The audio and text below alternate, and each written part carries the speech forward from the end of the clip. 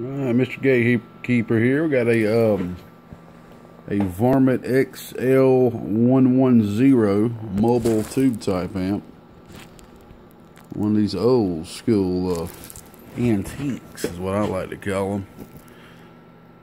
And uh, I uh, fired her up and she was not working. I looked in here and saw two uh, solder joints that I wasn't too sure of, so I touched them up a little bit, and, and she was working. So that was pretty cool. A uh, good buddy of mine from uh, New Jersey gave me this, and uh, very nice fellow, man.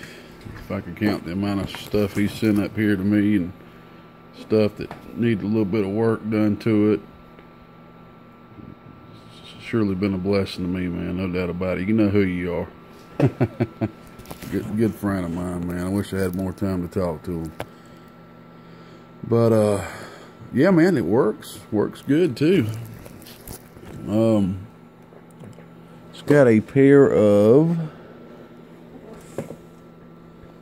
Ah, come on now. I just saw what they were. They're six Oh, it's on the top of the tube. Six VK6s.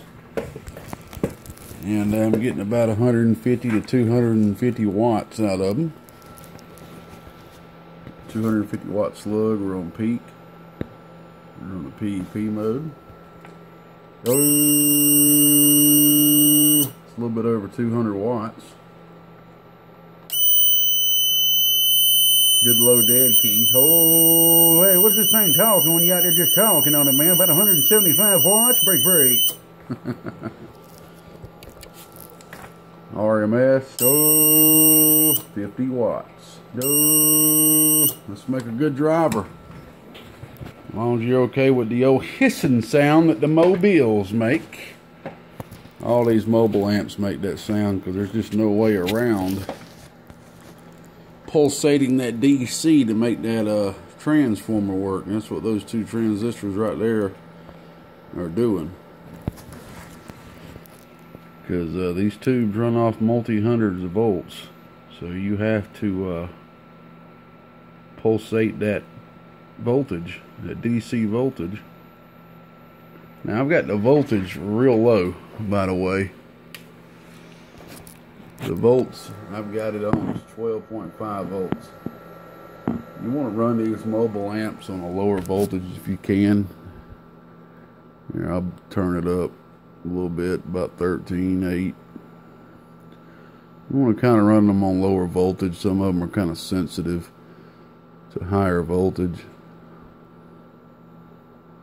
Yeah that's about 13 13 8 right there Oh, yeah, there really ain't no difference. Oh, 250. All right. So there she goes. The uh, the knob is broke. I'm gonna put another knob on it. And uh, this uh, right here is, I mean, you could find a knob to fit it, but it's a uh, trimmer, as you can see. So you can just adjust that with your with your flathead and the uh, input reflect on this thing is, is awesome. Awesome. Take a look at it. No, no movement whatsoever. No, it's hard to get something that flat.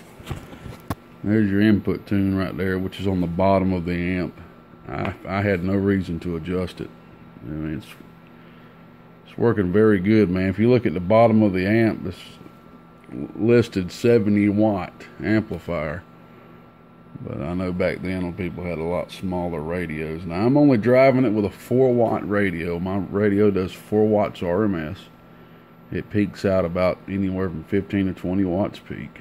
So I wouldn't drive it much more than that. Alright, off to eBay it goes. I don't got no screws, but maybe I can find some screws laying around or something. And of course I got my negative uh, just clipped right here to the heat sink you'll find a lot of these won't even have a negative wire coming out. A lot of people just put a uh, bolt on the side as I'm sure you probably know, if, if you're going to be buying this, you probably are experienced with these type of amplifiers. All right, off to eBay it goes. Gatekeeper said it. Bye bye.